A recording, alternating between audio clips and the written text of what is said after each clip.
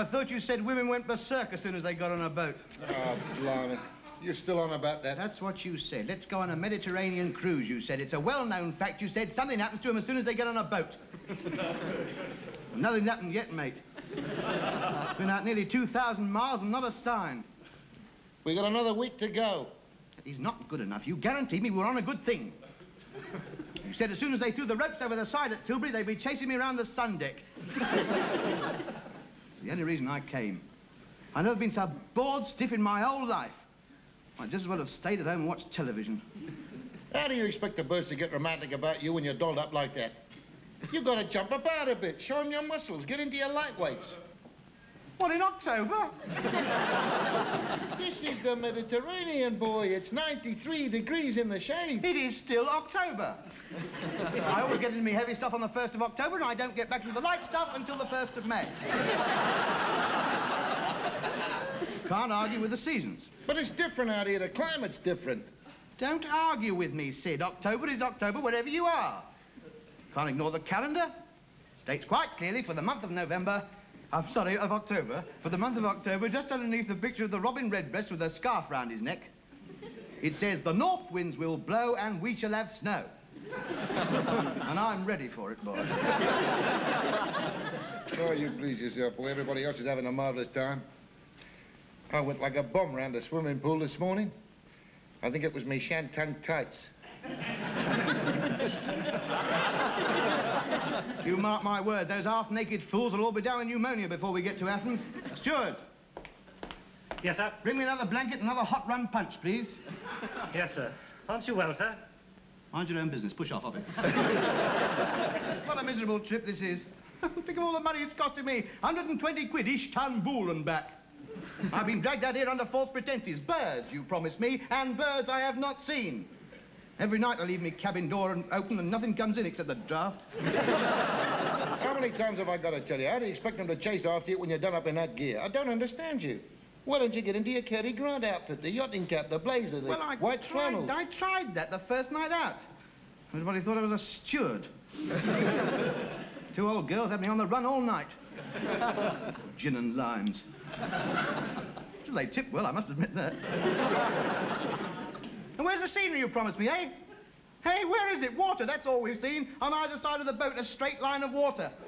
Seven days, all I've seen is water, smoke, sky, and birds, and not the sort of birds I came to see. and what is there to do? Go on. Answer me that. What is there to do? Well, you could take a walk around the boat. I've had a walk round the boat. 300 times I've walked round it this way, I've walked round it that way. I've walked across it, I've walked up and down it, and dead boring it is too. How can you say that? They've got a cinema, dancing, a swimming pool? I don't dance, I can't swim, and I've seen all the films. Apart from that, I don't like the sea. It's a very unsafe way of travelling, so all in all, whichever way you cut the cake, I've had it, haven't I? Oh, what a miserable ratbag you are. Well, I'm having a marvelous time. Good luck to you. I have never had such a good time in my life. Oh, well, simple minds, I suppose. Get out of it! What's this then? Oh, push off! Get out of it! Get up the other end of the boat! What's it supposed to be? Do you mind, please? Come on, Freddie, throw it. No, I'm giving it to Binky. Roger, throw it to Cecily. Oh, all right then. There you are, the mist. I say, can we have our ball back? Here we go. I fancy it. How do I look? Absolutely revolting. Well, I'll see you back in two minutes. Here we are, sweetheart. Can I come and play with you then? How sordid a man of his age. I say, that wasn't Push off. Yes, but look Do you want to go over with it? Well, no. All right, push off then. Well, look here. Who do you think you are? Come on, Binky, don't quarrel. Let's go and play quiz. You take him away, otherwise I might unwrap myself and leap on him. what a way to carry on on a British ship.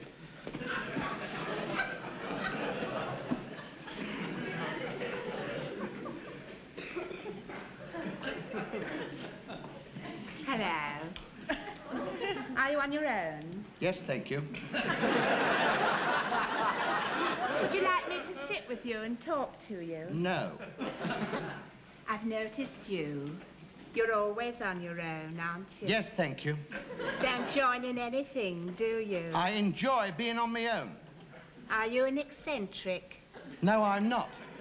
Just leave me alone. Do a lot of reading, don't you? You'll hurt your eyes, you will. I'll hurt yours in a minute.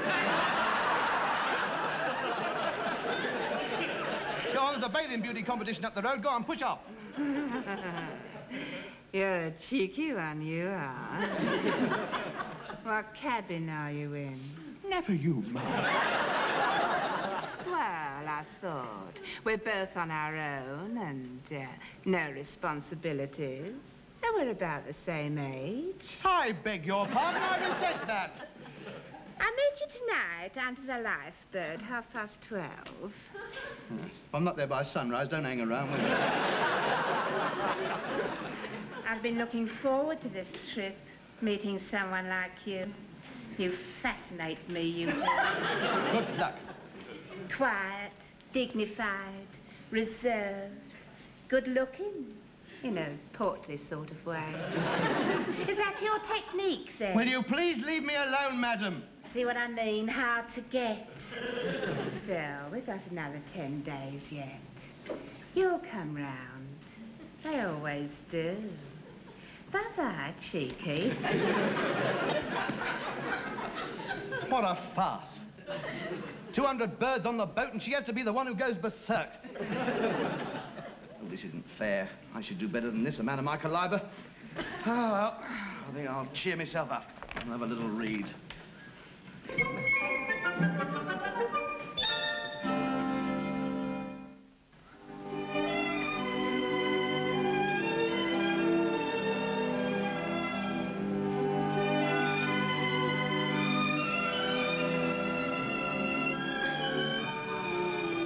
Is the um, captain around, sir? No, he's off duty, man. What do you want? I just wanted to check on this menu, sir. Yes, Uh, roast chicken, roast potatoes, stuffing and green peas. We had green peas yesterday. Have you got anything else? Onions? Got any leeks, of you? Yes, sir, we got some leeks. Lovely, that's it then. Leeks it is. Lovely, I Very like good, leeks. sir. Leeks it is. Steady on your course, coxswain. And the great ship Ruritania slowly slid beneath the icy waves, shrouded in thick fog. Abandon ship! Now stop reading this stuff. Just because a foghorn blows, it doesn't mean to say we're going down. Pull yourself together, you great buffoon. Where are these leaks, then? Down below, number number three hold. And hurry up, we haven't got much time. If you want any help, give us a shout. Right. Right. Leaks! We've hit something already. Fog! It's the Ruritania all over again. Oh, no, it can't be. We're all right. We're going along all right. It's unsinkable, this thing. So was the Ruritania. Must find out about those leaks. I think we've hit an iceberg.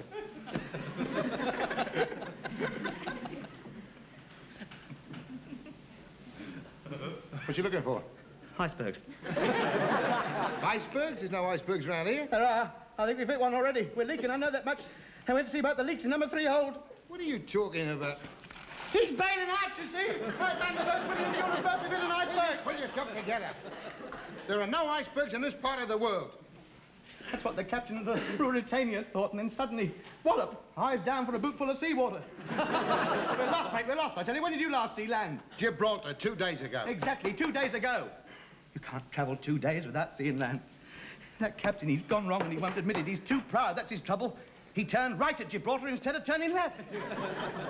and how do we know it was Gibraltar? It looked like a great big iceberg to me. what do you keep dinging that bell for? There's nothing in front of it. They don't know what they're doing. One of them came off the bridge just now and did that. See which way the wind was blowing. That's nice, isn't it? the boat is manned by amateurs. I think we ought to take the boat over. Take it over. I don't, we'll be in Athens in two days. Athens? That's a laugh. I know where we'll finish up. Nagasaki. or some other lonely desert island in the Antarctica. you can't just stand by and let that peak-cap fool run straight into the nearest iceberg. I say we've got to take over the ship. Are you with me? Are you Will with you me? let go of my shirt? if you gone raving mad? say, what's wrong? What's all the shouting about? It's the captain. He's lost. We're drifting about hopelessly. We're miles from anywhere. Dear, is that true? Oh, it can't be. They know what they're doing. They've got wireless. Wireless, of course. Don't do anything till you hear from me. Oh. S. O. S. SOS. That's it. I must go and warn the others. K-I-N-S. Soskins. There we are, madam. Mary Soskins, happy birthday, love, Mum. Thanks very much for being there tonight. Oh, thank you so much. We're sinking. They're sending an SOS message. Oh, Oh, don't worry, dear. It's all right. The British seamen are the finest in the world. Oh, I hear someone mention the British seamen. Good afternoon, sir. Are You having a pleasant voyage? Who are you? I'm the first officer, sir. Just the man I want to see. Where are we? Uh, well, do you mean by that our exact position? To the dot. I want to know where this ship is exactly at this moment. Well, to tell you the truth, sir, I'm just going on duty. I'm afraid I haven't seen the chart since yesterday. Yesterday. 20 knots an hour. We're 200 miles off course at least. Steady on, sir. There's no need to panic, you know. I mean, there's always someone up there, all my fellow officers. But they're bits of boys straight out from Dartmoor. Dartmoor? well, wherever it is then. Where's the captain? He's in bed. He's in bed. he's ill. He doesn't know what he's doing. There's an invalid in charge of the boat. Please, sir, control yourself. You'll panic the other passengers. Look, the captain's not ill. He's just tired after being on the bridge all night. All night, eh? So there is something wrong. What's going on in this boat? What are you trying to hide from us? What's in those glasses? Ice. Just as I thought. Small chunks of ice. That proves it hit an iceberg. It's ripped open the side of the ship and they're down below, hacking away at it. And to try and keep it from the passengers, there, put it in the drinks. You cunning devil, man the boat, widow. Will you control yourself, He's always like this. Well, look, you look after him, will you? And I'll go and get the ship's doctor. It's probably the heat. But just keep him quiet, will you? Now, calm down. You heard what the man said? There's nothing wrong. So calm down and relax before you get a punch right up the nut cruncher. Get your hands off me. I'm not going to drown. The captain's delirious. The officers don't know what they're doing. There's a dirty great hole in the bottom of the boat. We're doomed, I tell you. Man the boat. What are you talking about? We're sinking. Not only that, but we're lost. The captain's strapped to his bunk. The officers are taken over. He's gone bonkers. It's the Caine mutiny all over again. Be lying there in his bunk, clicking those little steel ball bearings together like that. as soon as he starts asking about the strawberries, we've had it. It's quite true, my dear. The captain's in bed. And the first officer admitted he didn't know where we were, didn't he? Yes, He did say that, didn't he? Well, surely that is enough proof. Well, I insist on taking over the boat. Don't worry, out of my way. Good lad. Everything's under control, don't worry. An SOS signal's been sent out to all the vessels in the vicinity. I don't suppose we shall be in the water for more than eight till nine hours. What about the captain? Don't panic! Oh, the captain? Yes, well, I'll soon see about him. I shall have him arrested as soon as he gets to dry land. On what charge? I'll tell you on what charge. Dereliction of duty, deserting the bridge, and lack of moral fibre. And who, sir, may you be? I'm the captain. Would you care to step up onto the bridge for a moment, sir? Don't you try your rough sailor-like tactics on me, my good man. These people are all behind me. What's happening? Don't panic. Don't worry, I'll sort him out. Stand by the boat. Watch it, watch it. Hancock! Hancock! Oh, well, I might go back a few bob out of it. Get your sweepstake tickets here for the lifeboat. Only one shilling a ticket. Every lucky winner gets to see you.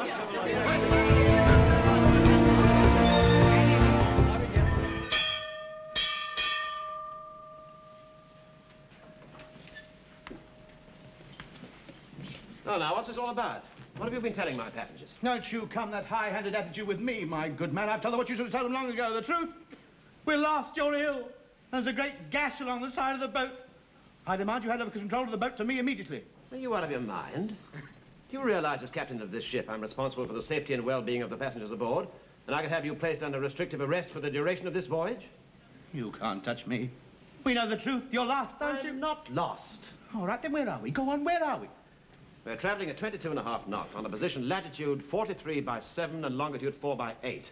We're exactly 33 and a half miles off the coast of France and within three miles of the North Mediterranean lightship, and in two and a half hours we'll be docking at Marseille at precisely 1907 hours. A bit vague, isn't it? Moreover, when we get to Marseille, I shall have you put off at the docks. I don't want to see any of those French doctors. I'm perfectly healthy. what about the hole in the boat? What about the hole in the bottom of the boat, then? Chief engineer? Oh, Mac. One of the passengers seems to think there's a hole in the bottom of the boat. Here. Look. Haven't you any control over your men? Now, are you satisfied? It wasn't me, it was them. I, I told them not to panic, but they wouldn't listen to me. They're out for blood. They're in an ugly mood, the irresponsible fools. Get back, you mutinous dogs! it's too late. The blind fools, they're ready to riot. I've done what I could, Captain. It's called for drastic measures. We must hold the bridge at all costs. We've got a good vantage point. We've got some dry tack up here, we could hold them off for days. I'll put a volley of grape shot over their heads.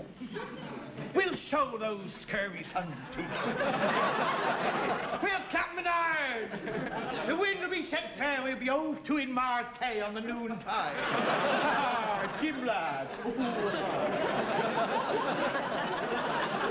That's him. That's him, Doctor. Come along. You'll be all right. Get your hands off me. We have a mutiny to quash. Now, don't worry, sir. A little sedative, and when you wake up, everything will be all right. Just a slight case of sunstroke. Far too many clothes on him. Come along, old son. Get your hands off me. Come along. Come along. Squire Trelawney is waiting in his cabin to see you.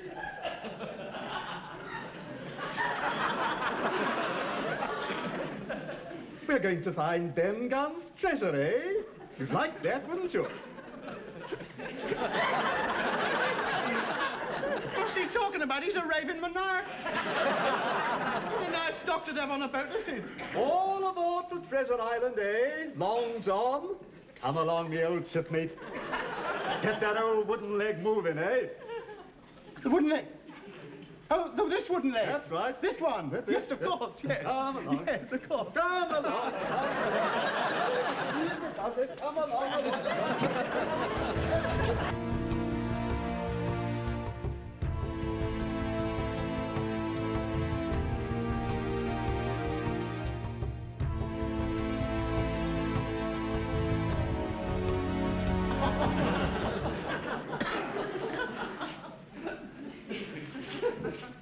You want to put that gear on for? What do we look like? At the Western Brothers on holiday. How do you feel? I'm fine. There's never anything wrong with me. I just made a bit of a mistake, that's all. It could happen to anybody. I just thought we were lost, that's all. Well, don't do it again. I may be responsible for you. Now, you've got to take it easy. Just relax. Take a quiet stroll around the deck, then back to your cabin, malted milk, and off to bed. There's nothing wrong with me, malted milk. Another thing, I resent being strapped down to my bed. Especially with that funny woman roaming about the boat. I'm supposed to be enjoying myself. I want to get amongst the ladies. You're just not fit enough, boy. You go back to bed. I'll sort something out at the dance tonight. Dance? What dance? Didn't I tell you I've organised a fancy dress ball tonight? You aren't still taking money off those poor people. You're the one they ought to strap down. Well, it's only a guinea a ticket, and I've had to do all the organising. What organising? Well, I had to blow up the balloon, talk on the floor, move the chairs about. I'm entitled to a bit of profit, and I've had to provide the prizes. Oh, and what are they, pray? Well, the first prize is a conducted tour of the engine room. Oh. And the second prize is a smasher. It's a peep through your porthole at you strapped down in bed. so if you wouldn't mind doing a bit of eye rolling and screaming out, you know, let them think that they're getting their money's worth. You cheeky... Well, blimey, it's not every day they get a madman on board. I'm not a madman! How dare you put me on exhibition? How dare you? Hmm. Me? Strapped down, eye rolling, and shouting out. Look, they know I'm not bonkers. Who are you trying to kid? Good morning, lovely day. There you are, you see? I don't think you better come to the dance tonight. The word will soon get round. There's a madman loose in a Paul Jones could ruin the whole evening. Oh, this isn't good enough. I want to come to the dance, Sid. Look, it's in fancy dress. They wouldn't know it was me.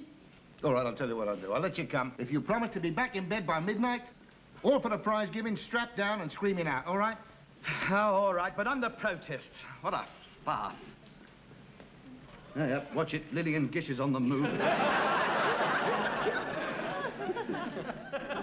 Hello, sailor boy. You feeling better? It's always the quiet ones that go off, isn't it? Still, I'm glad you're up and about again. Would you like me to look after you? no, thank you. Hasn't made any difference to me, you know.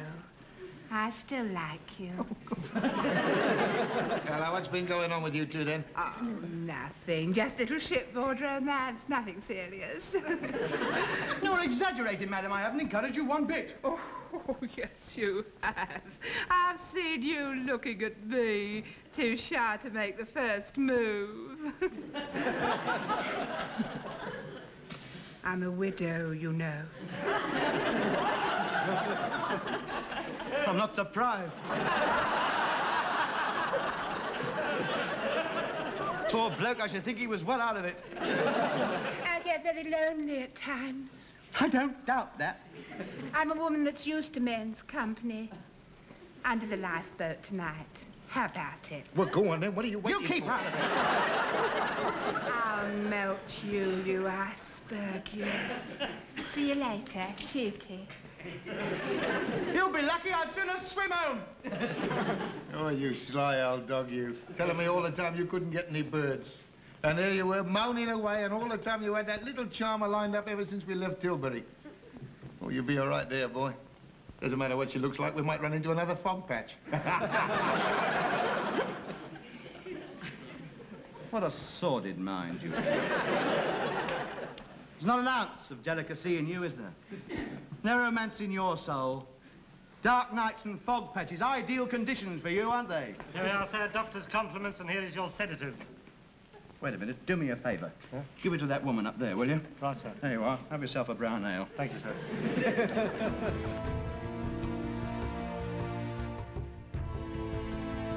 sir.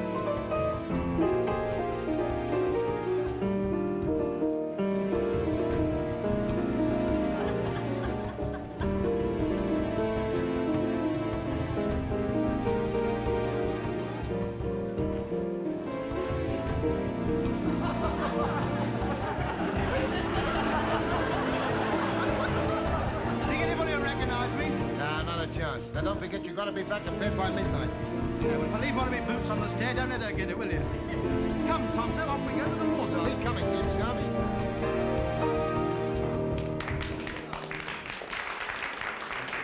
Ladies and gentlemen, take your partners for a Paul Jones. Oh. Ladies on the inside and gentlemen on the outside.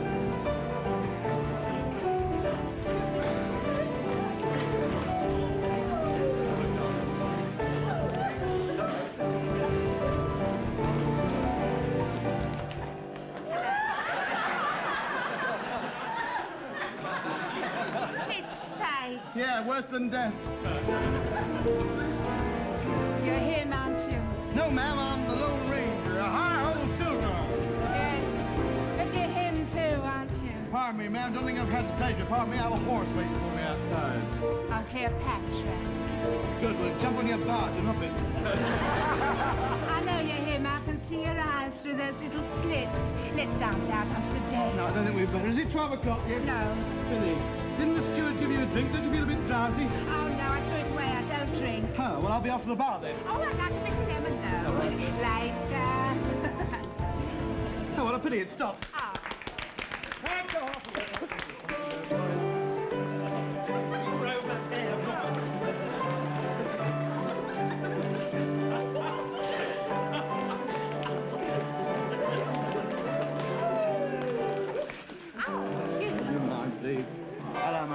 Been looking for a nice girl like you. What's your name?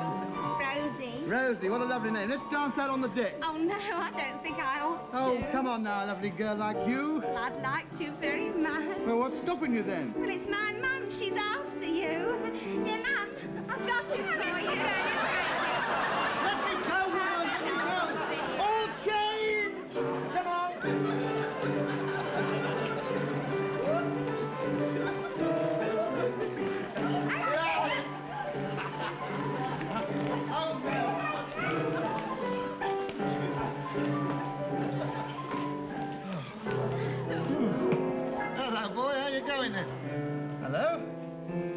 reservation you're working up here. Any pale faces alive? Yeah, get in, boy. Here, the girls, this is Anthony. Oh, how do you do? Hello, my dear. Oh, this is more like it. This is more as I imagined it. Tell me, my dear, have you ever been to the Cotswolds? May I have your attention a minute, please? Uh, ladies and gentlemen, I don't wish to alarm you, but the passenger who went berserk this afternoon has escaped from his cabin. He's uh, wandering the ship and he may be dangerous, but don't worry, we'll get him all right. In the meantime, we ask him to come along quietly. Thank you very much. This is sheer victimization. He had his arm round me. Is it, madam? I'm harmless. It's all a mistake. It's intolerable. I have a British passport. I demand to see the British ambassador. You were supposed to be in your cabin under lock and key. What are you doing here? Well, I'm only having a little dance. I've paid me fare. I'm entitled to what's going on, surely. He was put in your care, Mr. James. How do you explain this? Well, he overwhelmed me. You know what it's like when they're like that. They've got the strength of ten. Oh, don't listen to him. He doesn't want you to know he's been charging people a guinea a head to come to your fancy dress dance. I see. Well, under the circumstances, I have no alternative to have you both put ashore at port side. You can't put me ashore. I had no part of this fiddle. I demand to stay on board ship. I should only allow that if you were under supervision. Oh, I'll look after him. no, thank you, no. No, I, I think you're right. Yes, I ought to go off, really. I, I do need the treatment, yes. Aha, young Jim. Ha ha. Old blind coon. Pieces of eight, the old wooden leg, eh? Ha ha. Oh.